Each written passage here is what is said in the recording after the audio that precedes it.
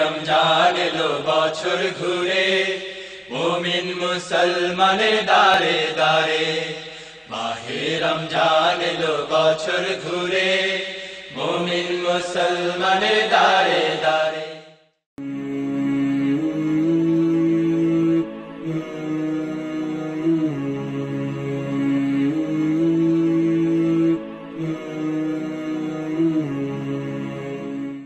أعوذ بالله من الشيطان الرجيم. بسم الله الرحمن الرحيم.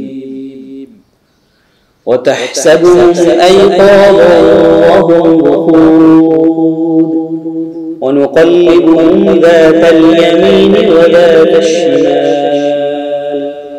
وكلبهم باسط ذراعيه بالوصيد لو اطلعت عليهم لوليت منهم فرارا ولملئت منهم رعبا وكذلك بعثناهم ليتساءلوا بينهم قال قائل منهم كم لبثتم؟ قالوا لبثنا يوما أو بعض يوم. قالوا ربكم أعلم بما لبثتم فابعثوا أحدكم بورقكم هذه إلى المدينة. هذه إلى المدينة فلينظر أيها أزكى طعاما فليأتكم برزق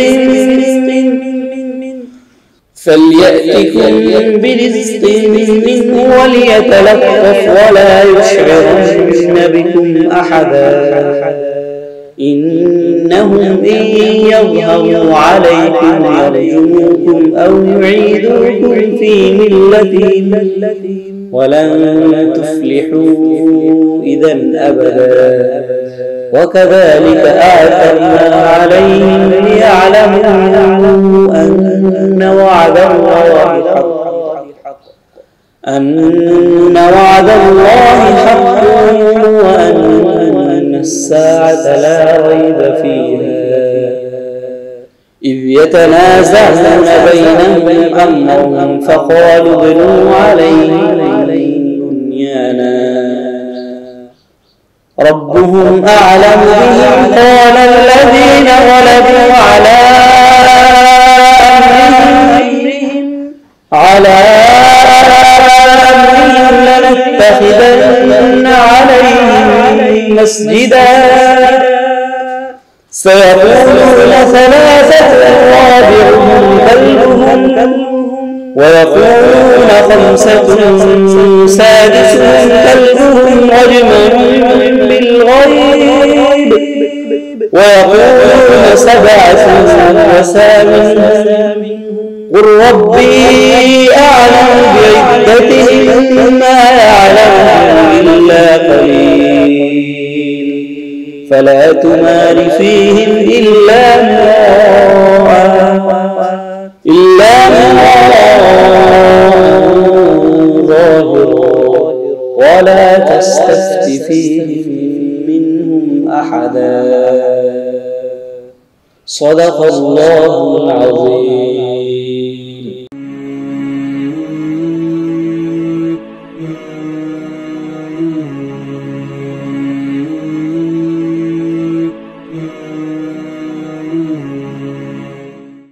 আসসালামু আলাইকুম রহমতুল্লাহি ওবরাকাত বরকতময় রমজানে আপনাদেরকে স্বাগতম। আহলান সাহলান, মাহে রমজান। প্রিয় দর্শক, আমরা একে একে রমজানের শেষ দিকে চলে যাচ্ছি। রমজান এক এক করে আমাদের থেকে বিদায় নিয়ে চলে যাচ্ছে। প্রিয় দর্শক, আমরা শিখতেছিলাম তাজবিদ তাজবিদের এই পর্বে একটি গুরুত্বপূর্ণ বিষয় নিয়ে আমরা আজকে আলোচনা করব। আমরা জানি দুটো হা রয়েছে। হা এবং হা, এই দুটো হায়ের উচ্চারণ এবং লিখারও কিছুটা পার্থক্য রয়েছে। আমরা ছোট যে হা বা এই হলকে শুরু থেকে যে হা উচ্চারণ করি আমরা, এই হা দুটোভাবে লিখা যায়। কখনো কখনো এই হা তায়ের মতো উচ্চার, উচ্চারিত হয়। যখন এই হায়ে দুটো নুক্তা থাকবে, তখন আমরা একে তায়ের মতো উচ্চারণ করে যাব। আবার যখন এই হায়ে দুটো নুক্ত থাকবে, কিন্তু এটা হরফের শেষে বা ওয়াকফের শেষ বর্ণে এসে উপস্থিত হবে তখন আমরা একে তায়ের মতো উচ্চারণ না করে আমরা হায়ের মতো উচ্চারণ করব। এতে করে যেমন আমাদের তেলাওয়াত সুন্দর হবে এবং তেলাওয়াত নির্ভুল হবে তাহলে আমরা উচ্চারণের সময় হা দেখে হায়ের উপরে মানে গোল হা বা আমরা যাকে ছোট হা বলি এই হাত দেখে নিব যেন এটার উপরে কোনো নুক্তা আছে কিনা। যদি নুক্তা থাকে, তাহলে তায়ের উচ্চারণ করব, আর যদি নুক্তা না থাকে, তাহলে হায়েরই উচ্চারণ হবে। উদাহরণ হচ্ছে আল করে মাল করে আহ এখানে আমরা প্রথমে আল করে আহ মাল করে আহ আমরা একত্রে মিলিয়ে পড়ার কারণে প্রথমে আল করে আতু মাল করে আহ আমরা মিলিয়ে পড়ার কারণে প্রথম হায়ে যখন দুটো নক্ত দেখেছি, তখন তায়ের মতো উচ্চারণ করেছি। আর যখন পরবর্তী তায়ে আমরা যখন ওয়াকফ করলাম, তখন আমরা এটা হায়ের মতো উচ্চারণ করেছি। তাই আমরা যখন কোরআন তিলাওয়াত করব, ওয়াকফ করব, তখন এই তাজবিদের ছোটোখাটো নিয়মগুলো মেনে কোরআন তিলাওয়াত করব। এতে আমাদের তাজবিদ সুন্দর হবে, কোরআন তেলাওয়াত সুন্দর হবে। প্রিয় দর্শক, আজকের মতো বিদায় নিচ্ছি। ভালো থাকবেন, সুস্থ থাকবেন। আসসালামু আলাইকুম রহমতুল্লাহি ওবরাকাত মাহে রমজান এলো বছর ঘুরে, মুমিন মুসলমানের দারে দারে মাহে রমজান এলো বছর ঘুরে, মুমিন মুসলমানের দারে দারে আসসালামু আলাইকুম রহমতুল্লাহ। আলহামদুলিল্লাহ রব্বিল আলমিন ওসলাত ওসালাম আলা রসুলহিল করিম। ওয়ালা আলিহি ও আসহাবিহি আজমাইন। সুপ্রিয় দর্শক ও শ্রোতা, পৃথিবীর যে যে প্রান্তে বসে বরকতময় রমাদানে আমাদের এই অনুষ্ঠান উপভোগ করছেন আপনাদের সবাইকে সুস্বাগতম। আজকের অনুষ্ঠানের শুরুতেই আমরা একটি ইসলামী সংগীত শুনে নেব। শুরুতেই একটি ইসলামী সংগীত।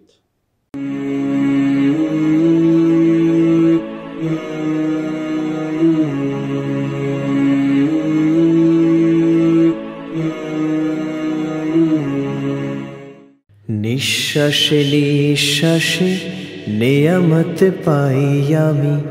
বিশ্বাসে তাই আমি, না দেখে তোমায় মানি। সে মানা সামান্য, কত ত্রুটিপূর্ণ। তোমার মিজানে মেপনায় আমায় প্রভু।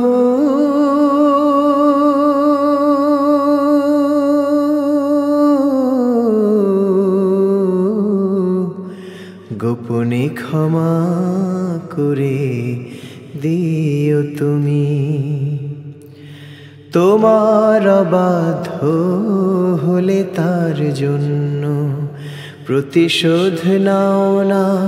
তুমি তো হে খোদা, বরং তোমারে যে মানে কি বা না মানে সবাই তোমার আলো, সমীরণ পায় তবু তোমার অবাধ হলে তার জন্য প্রতিশোধ নাও না। তুমি তো হে খোদা, বরং তোমারে যে মানে কি বানা মানে সবাই তোমার আলো, সমীরণ পায় তবু বাঁচে না এ জগতে, তোমারই করুণা ছাড়া।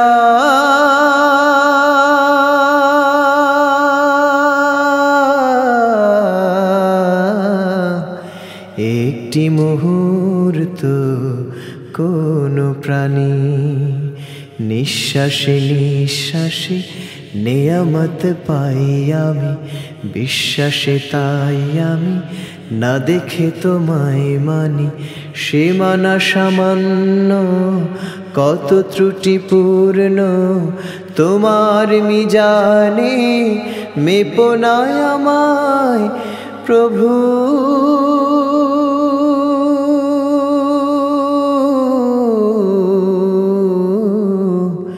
গোপনে ক্ষমা করে তেও তুমি। আমার ক্ষুদ্র হৃদয়ের মিনতি, তোমার সীমাহীন রহমতের দ্বারে আমাকে ফিরিয়ে দিও না হে রহমান, আমি যে অসহায়, ধরো না পর পারে আমার ক্ষুদ্র হৃদয়ের মিনতি তোমার সীমাহীন রহমতের দ্বারে আমাকে ফিরিয়ে দিও না হে রহমান। আমি যে অসহায়, ধরো না পর পারে আমার জীবনে দিও না কোনো বিপদ।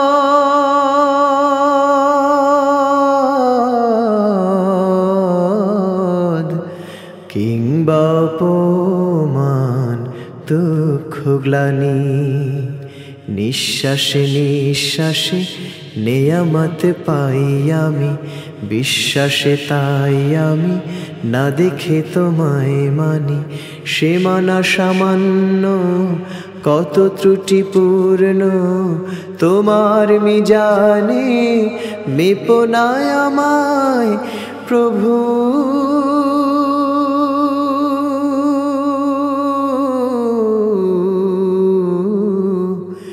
গোপনে ক্ষমা করে দিও তুমি। রমজান এলো বছর ঘুরে মুমিন মুসলমানের দারে দারে মাহে রমজান এলো বছর ঘুরে মুমিন মুসলমানের দারে দারে আলহামদুলিল্লাহ অত্যন্ত চমৎকার একটি ইসলামী সঙ্গীত আমরা শুনে নিলাম আজকের এ পর্বে আমরা যেহেতু শেষ দশকে হাজির হয়েছে মাহের রমাদানের আমরা লাইলাতুল কদর সম্পর্কে আলোকপাত করার চেষ্টা করব ইনশা আল্লাহ সুতরাং আমরা কোরআন কারিমের সুরতুল কদর সম্পর্কে আজকের উপস্থাপন করতে চাই أعوذ بالله من الشيطان الرجيم بسم الله الرحمن الرحيم إنا أنزلناه في ليلة القدر وما أدراك ما ليلة القدر ليلة القدر خير من ألف شهر تنزل الملائكة والروح فيها بإذن ربهم من كل أمر سلام هي حتى مطلع الفجر আলহামদুলিল্লাহ এরশাদ হচ্ছে নিশ্চয়ই আমরা এই কোরআনকে কদরের রাতে, সম্মানিত রাত্রে মর্যাদা সম্পন্ন মহিমান্বিত রাতে নাজিল করেছি। আর হেনবি আপনি কি জানেন মহিমান্বিত সেই রাতটা কি? সেই মহিমান্বিত রাতটি হচ্ছে হাজার মাসের চেয়ে উত্তম। এ রাতে ফেরেস্তাগণ ও রুহ হজরত জিব্রাইল আলাইহি সালাতাম প্রতিটি বিষয় নিয়ে তাদের প্রতিপালকের নির্দেশে অবতর, অবতরণ করে, শান্তি বিরাজ করতে থাকে যতক্ষণ না ফজর উদিত হয়। বারাকাল্লাহু লানা ওয়া লাকুম ফিল কুরআনিল গফিরলি ওয়া লিওয়ালিদাইয়া ওয়া লিল মুমিনিনা ইয়াওমা ইয়াকুমুল হিসাব। সম্মানিত ভাই বোনেরা, সূরাতুল কদর তেলাওয়াত এবং তর্জমা করা হলো।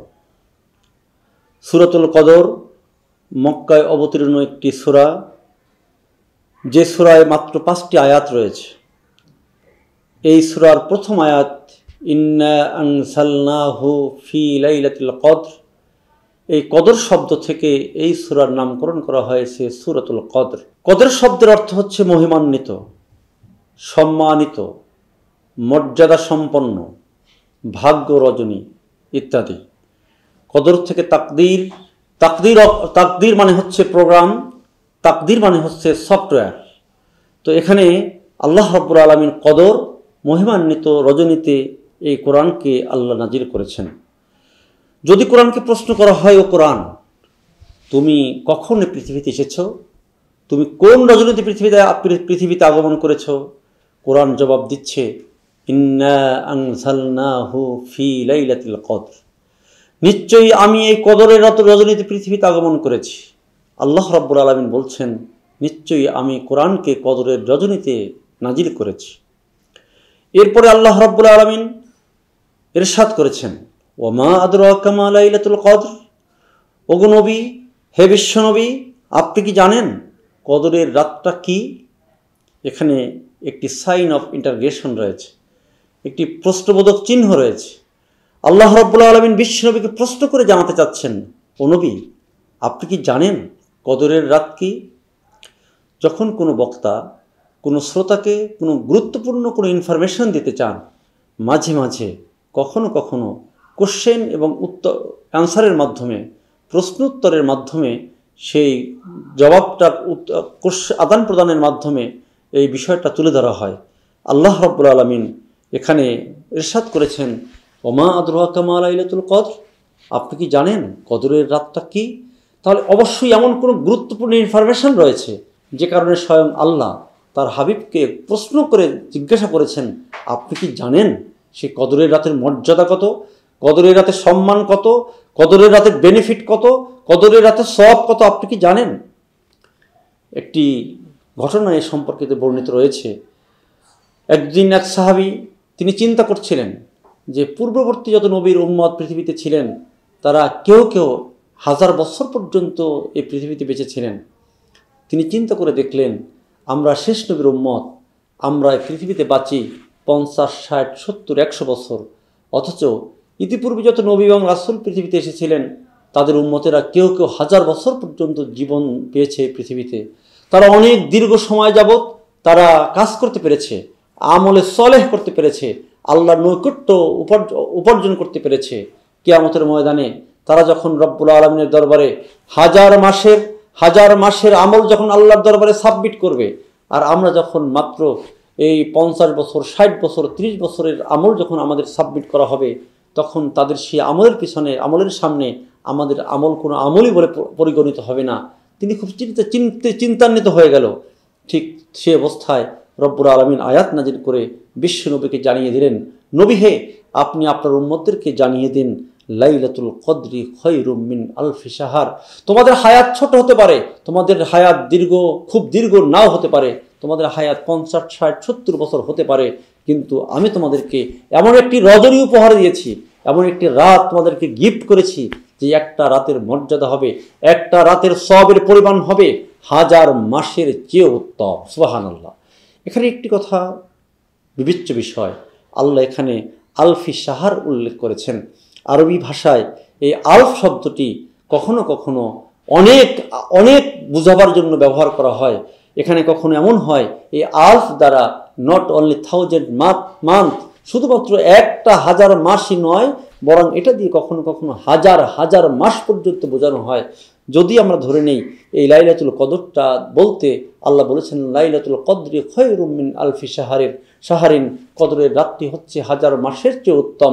যদি ধরেও নেই, এই কদরের রাত্রি এক হাজার মাসের চেয়ে উত্তম, আর যদি আমরা ক্যালকুলেটর দিয়ে এটাকে ভাগ করে হিসাব করে দেখি তাহলে আমরা যদি মাত্র শুধুমাত্র কেবলমাত্র কোরআন নাজিলের এই একটা রাত এনজয় করতে পারি, কোরআন নাজিলের একটা মাস, একটা রাত যদি আমি আমার জীবনে কাজে লাগাতে পারি, কোরআন নাজিলের শুধু একটা কদরের রাত যদি আমি ইবাদত করতে পারি, তাহলে রব্বুল আলমিন আমার আমল নামায় কমসে কম হলেও তিরাশি বছর তিন মাস আমল করলে যেই সব পেতাম, রব্বুল আলমিন আমাকে এক রজনী কাজ করলে পরে, এক রজনী আমি মদত করলে পরে আমার আমল নামায় আল্লাহ রব্বুল আলমিন প্রায় একশো বছরের সব তিনি আমাকে দিয়ে দেবেন। সোহানুল্লাহ বিহামদিহি। তাহলে এই ক্ষেত্রে দেখা যায় আমরা বিশ্বনবীর উম্মত হয়ে যে একটা রজনী পেয়েছি, লাইলাতুল কদর পেয়েছি, এই একটা রাত হচ্ছে হাজার মাসের চেয়ে উত্তম।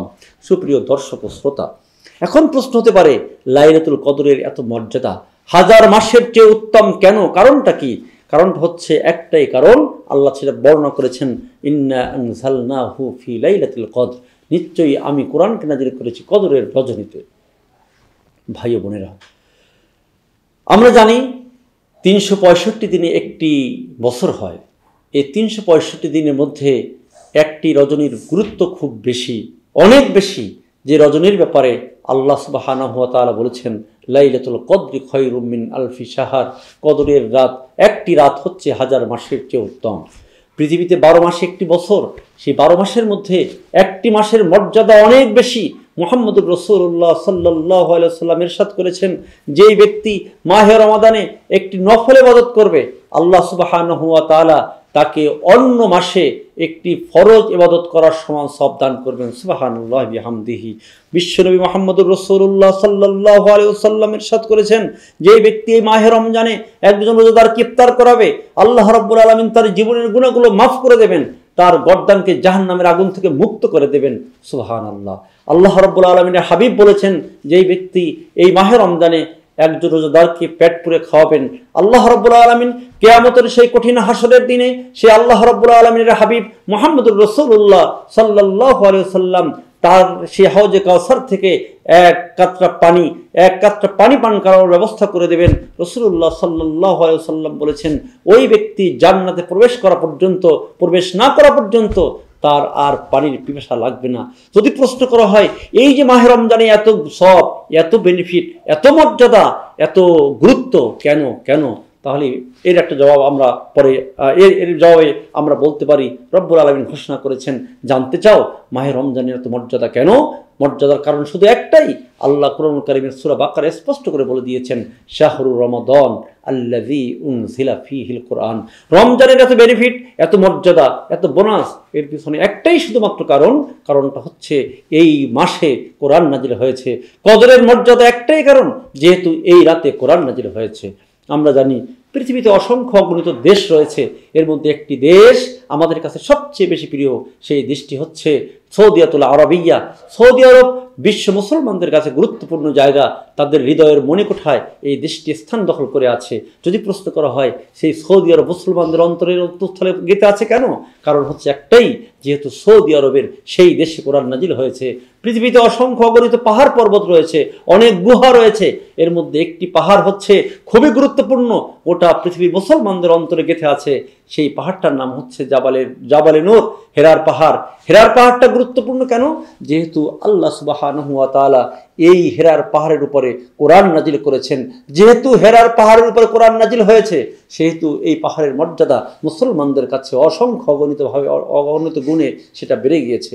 আমরা জানি পৃথিবীতে অসংখ্য অগণিত রব্বুল আলমিন ফেরেস্তা নাজিল করেছেন। এর মধ্যে একজন ফেরেস্তা হচ্ছে, একজন ফেরেস্তা হচ্ছে সাইয়িদুল আম্বিয়াই ওল মুরসালিন।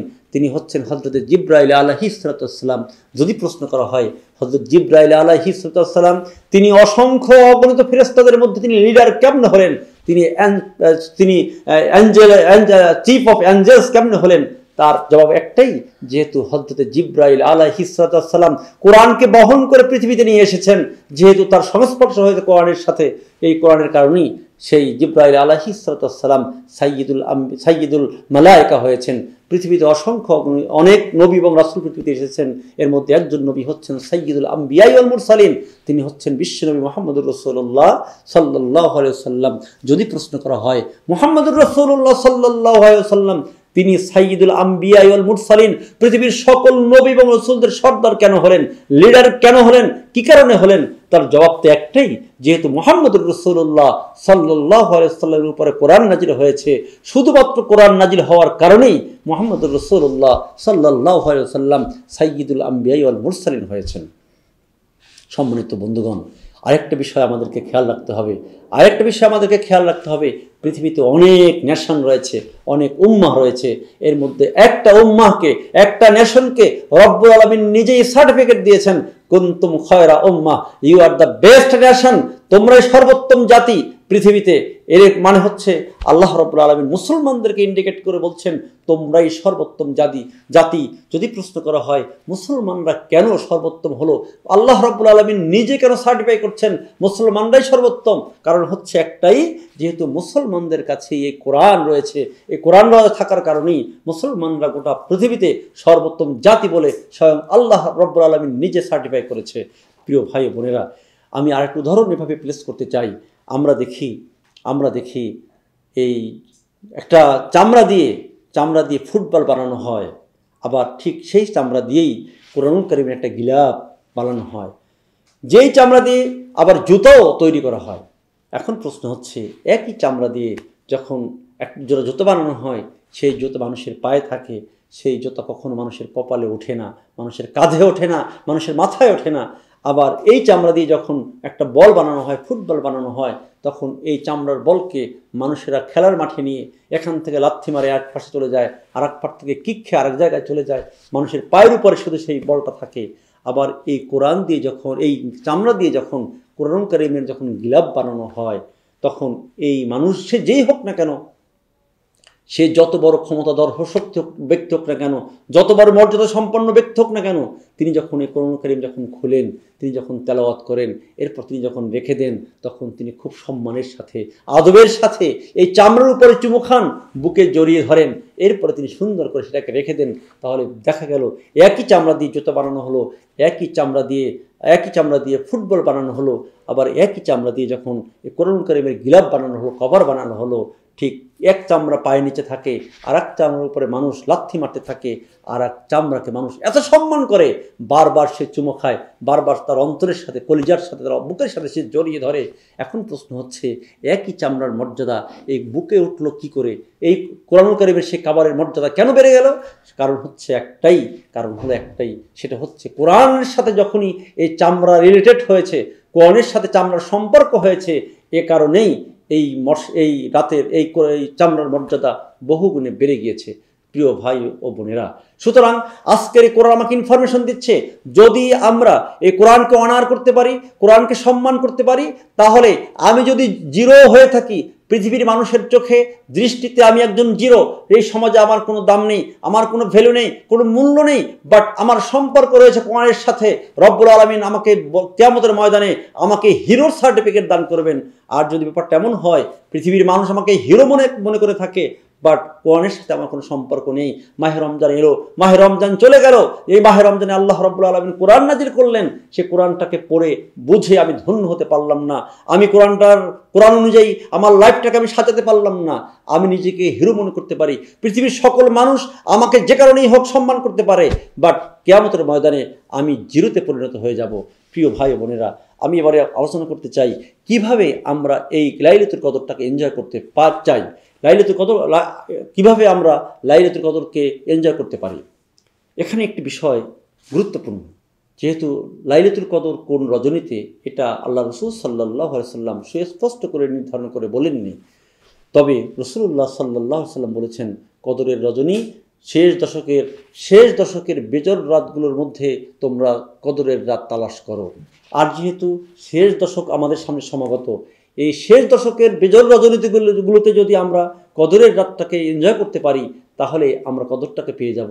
সেজন্য সবচেয়ে বড় পন্থ হচ্ছে, সবচেয়ে বড় ওয়ে হচ্ছে সোর্স হচ্ছে একটাই, আমরা যদি এই শেষ দশ দিন যদি এতে কাপ করতে পারি, যদি আল্লাহর ঘরে আমরা যদি সবাই উঠে যেতে পারি তাহলে আমি আল্লাহর ঘরে যখন যাইব, তখন সেদিন থেকে শুরু করে আমার সর্বশেষ দিন পর্যন্ত ঈদের আগের দিন পর্যন্ত আমি যে মসজিদে অবস্থান করব, সেখানে অবশ্যই আমি এই কদরের রাতটাকে সেখানে পেয়ে যাব। আরেকটি বিষয়, এই এতেকাপ হচ্ছে গুণমাফের একটা সর্বোত্তম সোর্স এভাবে আমি একটু উদাহরণ দিতে চাই, এইভাবে। যদি কোনো মানুষ কোনো অন্যায় করে থাকে, অপর মানুষের সাথে সে যত বড় অন্যায় করুক না কেন, আর ওই ব্যক্তি যদি সিদ্ধান্ত নিয়ে থাকে যে আমাকে অপমান করল, যে আমাকে মারলো, আঘাত করল, আমি তাকে অপমান করব, তাকে আমি মারব। এখন যদি কোনোভাবে যে ব্যক্তি অপরাধী, সে যদি কোনোভাবে লুকিয়ে লুকিয়ে হলেও যার সাথে অপরাধ করেছে, সে যদি তার বাড়িতে গিয়ে কোনোভাবে তার কাছে হাজির হতে পারে, আর যদি তার কাছে অনুনয় বিনয় করে বলে, ভাই, আমি অন্যায় করে ফেলেছি, আমি গুণা করে ফেলেছি, আমি জুলুম করে ফেলেছি, আমি তোমার কাছে এসে তোমার ঘরে চলে আসলাম, তুমি আমাকে মাফ করে দাও। তুমি মাফ না করা পর্যন্ত আমি এখান থেকে চলে যাব না। আমার মনে হয় পৃথিবীতে এমন কোনো জটিল হৃদয়ের, কঠিন হৃদয়ের মানুষ নেই যে এই লোকটাকে, যেহেতু সে ক্ষমা চাওয়ার জন্য তার বাড়িতে পর্যন্ত চলে এসেছে, তখন এমন কোনো লোককে হয়তো খুঁজে পাওয়া যাবে না যে বলবে হ্যাঁ তোমাকে আমি মাফ করলাম না। প্রিয় ভাই বোনেরা, আমি অনেক জুলুম করেছি, অনেক অন্যায় আমি করেছি, আল্লাহর অনেক আদেশকে আমি ভায়োলেট করেছি। এই অবস্থায় যদি আমি সিদ্ধান্ত নেই রমজানের শেষ দশকে আমি যদি আমি যদি আল্লাহর ঘর এই মসজিদে গিয়ে হাজির হতে পারি, আর সেখানে গিয়ে হাজির হয়ে যদি আমি রব্বুল আলমিনের দরবারে কায়ামনে বাক্যে যদি ফরিয়াদ করতে পারি, রব্বুল আলমিন জীবনে অনেক ভুল করেছি, অনেক অন্যায় করেছি, আয় আল্লাহ তাআলা, এখন তোমার ঘরে আমি উঠে হাজির হয়ে গেছি, আল্লাহ তোমার ঘরে এসেছি, তোমার ঘরে এসে তোমার কাছে ক্ষমা চাচ্ছি, মাফ চাচ্ছি, রব্বুল আলমিন তুমি আমাকে মাফ করে দাও। যেহেতু আল্লাহ সুবাহ গফুরুর রাহিম, তিনি সবচেয়ে সবচেয়ে দয়ার অধিকারী তিনি তিনি অবশ্যই আমাদেরকে মাফ করে দেবেন। সেজন্য আমরা যদি ক্ষমা পেতে চাই ক্ষমা পাওয়ার সর্বোত্তম সুযোগ হচ্ছে রমজানের শেষ দশকে এতে কাপ করা মোহাম্মদ রসুল্লাহ সাল্লাহ সাল্লাম তিনি তার জীবদ্দশায় শুধুমাত্র একটি কিংবা দুটো রমজান ছাড়া তাও যুদ্ধের কারণে তিনি এতেকাপ করতে পারেননি। বাকি সমগ্র জীবন তিনি এতেকাপ করেছেন মাহে রমজানের শেষ দশকে। অত্যন্ত গুরুত্বপূর্ণ একটি বাদত হচ্ছে এতেকাপ আর এতেকাপ এমন একটি জিনিস, আপনি যদি সেখানে ঢুকতে পারেন, আপনি যদি সে এতেকাপ করতে পারেন, সেখানে আমরা কোরআন চর্চা করতে পারি, সেখানে আমরা হাদিস চর্চা করতে পারি, এলমের দিন নিয়ে কথা বলতে পারি, মানুষ কোরআন শেখাতে পারি, সেখানে তাজবি তাহলিল করতে পারি, সেখানে কোরআন অধ্যয়ন করতে পারি, আমরা আরও অনেক নফল ইবাদত সেখানে করতে পারি, কিয়ামুল লাইল করতে পারি, সারা রাত দাঁড়িয়ে দাঁড়িয়ে সেখানে আবেদত করতে পারি, পৃথিবীর কোনো টেনশন সেখানে থাকে না।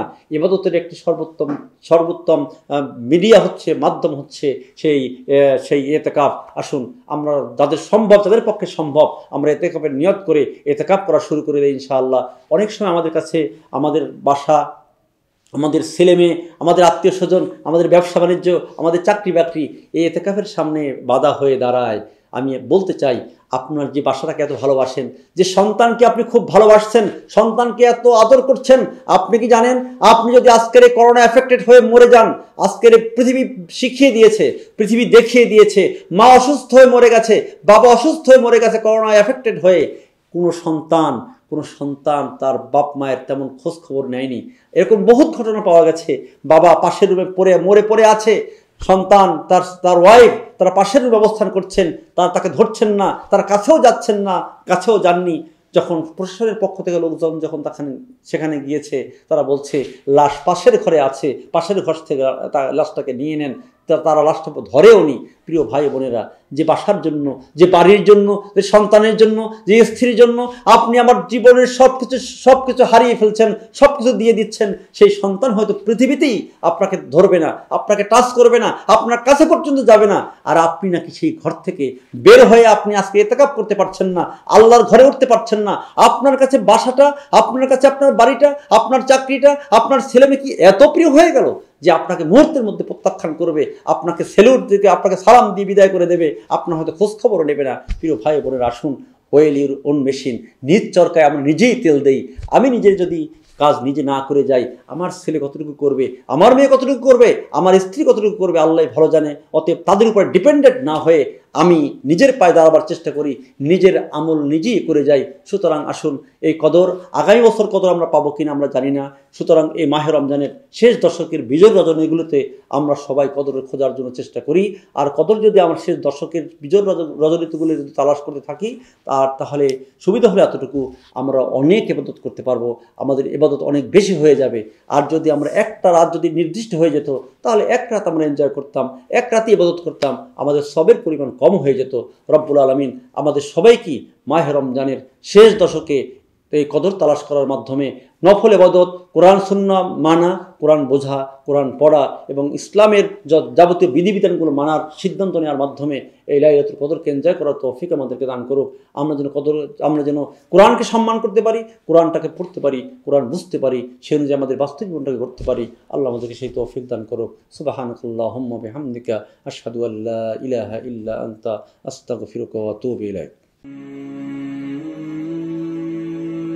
আলহামদুলিল্লাহ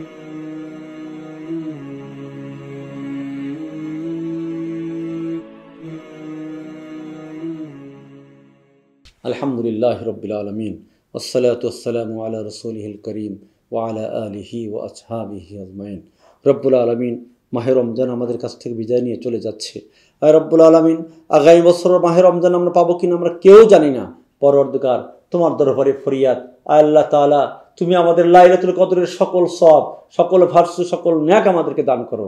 আল্লাহ তাআলা যেইভাবে আমল করলে পরে, যেইভাবে ইবাদত করলে পরে তুমি খুশি হও, লাইলাতুল কদরকে মর্যাদা করা হয় আয় আল্লাহ তাআলা তুমি আমাদেরকে সেইভাবে কাজ করা তৌফিক দান করো।